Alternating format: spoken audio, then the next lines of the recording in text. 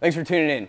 I'm Joey, a buyer here at Tackle Warehouse. I'm here to talk to you a little bit about polarized sunglasses and why they're so important to your success on the water. Polarization describes the way light is oriented. Sunlight itself isn't polarized, but when it reflects across a surface, such as water, it changes the way it's oriented and becomes polarized and creates glare. Glare affects the way you can see into the water. Polarized sunglasses uh, have a vertically oriented gradient that blocks out glare or polarized light. Polarized sunglasses are also an important safety feature on the lake. When you're running down the lake at high speeds, obstacles in the water might not be visible because of the glare. And this is extremely important if you don't want to rip out a prop or you know, damage the hull of your boat. So let's take a look at some of the polarized uh, lenses we have today. First up, from SolarBat, we have the Cool Eyes D.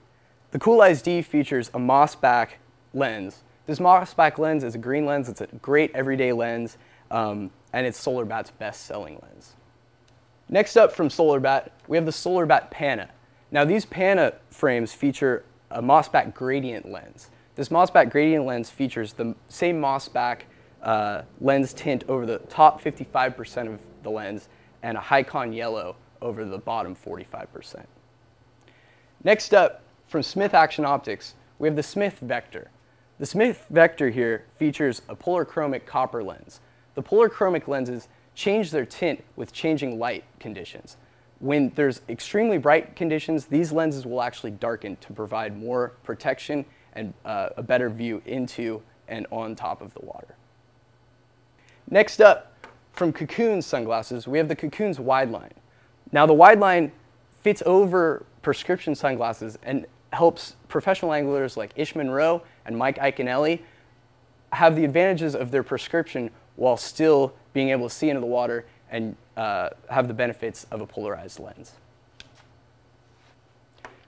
Next up from Hobie sunglasses, we have the Hobie Onofre. Now this Hobie Onofre comes in a photocopper lens.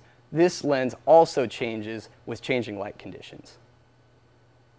From Kaenon sunglasses, we have the Hardcore. Now the Hardcore is a great frame, and this particular frame sports the yellow tint lens. The yellow tint is great in low light conditions and an excellent sight fishing tool.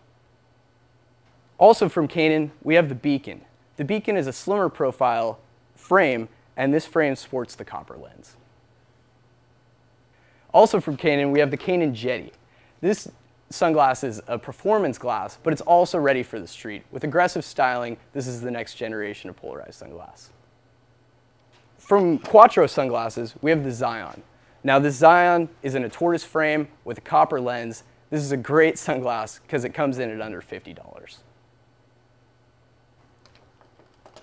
From Wiley X, we have the P17. Now this P17 features a smoke green lens a great all-around lens, especially in bright conditions. This is the sunglass that Tackle Warehouse Pro Jared Lintner wears. Also from Wiley X, we have the Wiley X Sky Now this is a more aggressive frame. This is going to be great for the lake, but also for the street. Last up from Wiley X, we have the Wiley X Ink and the Wiley X Blink.